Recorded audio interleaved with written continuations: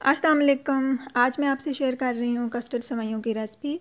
यहाँ पे मैंने लिया है जी एक लीटर दूध और इसमें मैंने दो सब्ज़ इलायची और तकरीबन पाँच से पाँच खाने के चम्मच मैंने इसमें चीनी ऐड कर दी है। आप चीनी अपने टेस्ट के मुताबिक ऐड कीजिएगा और इसको हम बॉयल आने देंगे।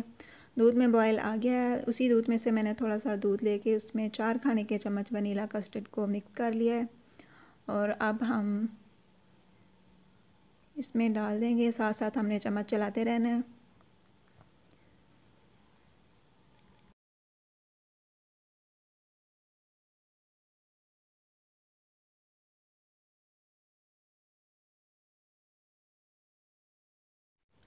तो कस्टर्ड हमारा थिक हो चुका है, हमने इसको ज़्यादा थिक नहीं करना क्योंकि ये ठंडा होने के बाद गाढ़ा हो जाता है तो सवैयों को मैंने पहले से बॉईल कर लिया था। रंगीन सवैयाँ मैंने ली थी हाफ़ कप और उसको मैंने बॉईल कर लिया था। अब वो मैं इसमें शामिल कर दूँगी।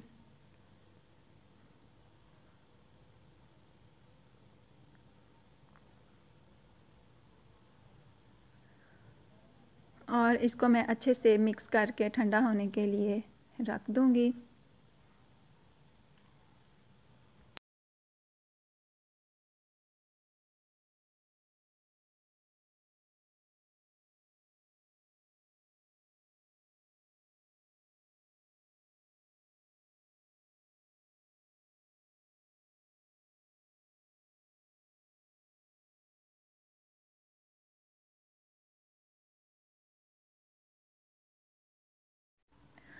तो इसको मैंने अच्छे से ठंडा कर लिया है और अब मैं इसमें शामिल करूँगी क्रीम।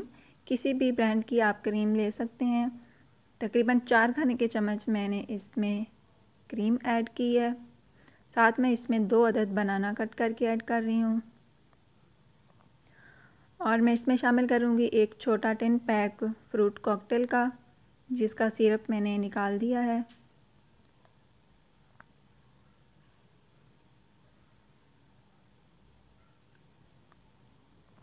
इसको अब हम अच्छे से मिक्स कर लेंगे। फ्रूट आप कोई सा भी इसमें इस्तेमाल कर सकते हैं, जो फ्रूट आपको पसंद हो, आप वो ऐड कर दें।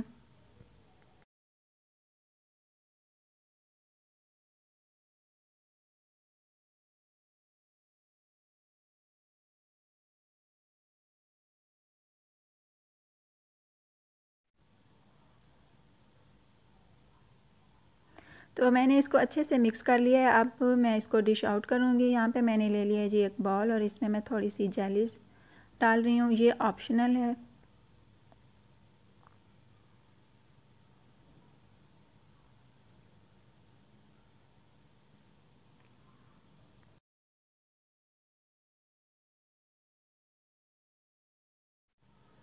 तो मज़ेदार सा डिज़र्ट हमारा रेडी हो चुका है। आप भी ज़रूर ट्राई कीजिएगा और कमेंट्स में मुझे ज़रूर बताइएगा।